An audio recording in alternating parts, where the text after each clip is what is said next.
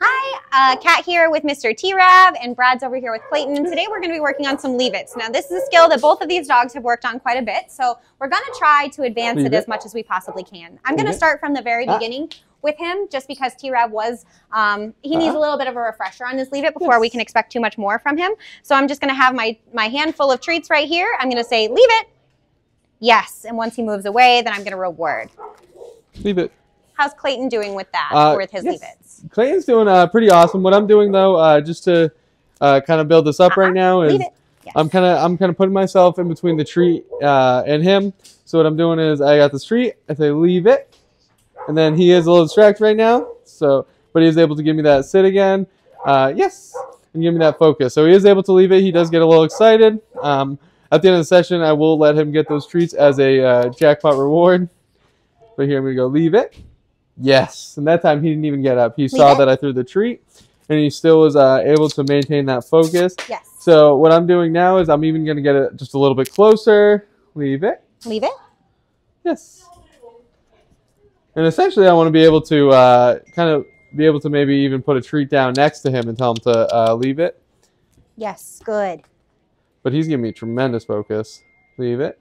For Mr. T-Rav, Uh-huh. um, typically I Uh-huh. start my leave-its Uh-huh. like from the very beginning with a closed uh, hand with treats in them, and I think that's where we're going to stay for just a minute here because uh, he might be just really distracted today, but he uh, is is struggling to to disengage. So we're going to stay with our closed hand. Leave it.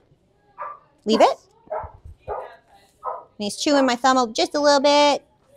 I'm just waiting. Good. Leave yes. Good job, T-Rav. Oh, and he's a little too distracted to get his reward. But what I have been doing when I reward is I reward away from the thing that I've asked him to leave to create even more of a muscle memory to move away from the thing that you're Leave it. asking. So now I'm going to try the open palm. We'll see how it goes. Leave it. Uh-uh. I'm just going to close it if he tries. T-Rav, leave, Leave it. it. Yes, good. I'll reward for eye contact.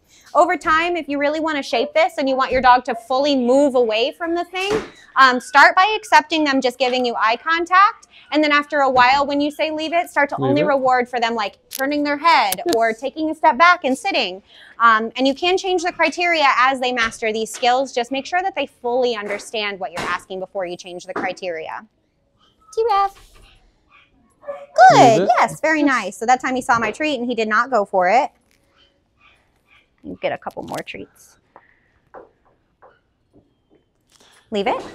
Leave it. Yes. And um, I noticed uh, Clayton is struggling more as that uh, pile of uh, treats that I'm asking him to leave um, is building up.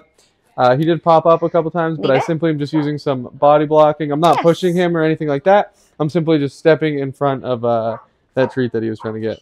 So for T-Rav, leave it is important Leave it. because he's an adolescent dog. And so impulse Yes. control is something that adolescent dogs struggle with probably more than anything else. And so teaching him a really good, reliable leave it while he's in this particular phase is going to be so helpful to making sure he doesn't pick up a battery that you drop on the ground, an ibuprofen that falls, a chicken bone on the on the street that he could choke on. Any of those things are uh, a leave it is really, really helpful for. And then Mr. Clayton here just got a baby in the house. Leave and it. I'm sure that there are maybe some baby toys that you don't want him to pick up. Um, maybe you don't want him to pay too much attention to the baby when he's moving around and playing. So you give Clayton that leave it, and, and a good, reliable leave it's going to be so helpful around the house.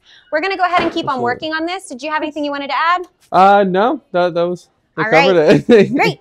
Um, so go ahead and practice these skills at home and let us know if you hit any walls or need any help. Have a great day. Good job.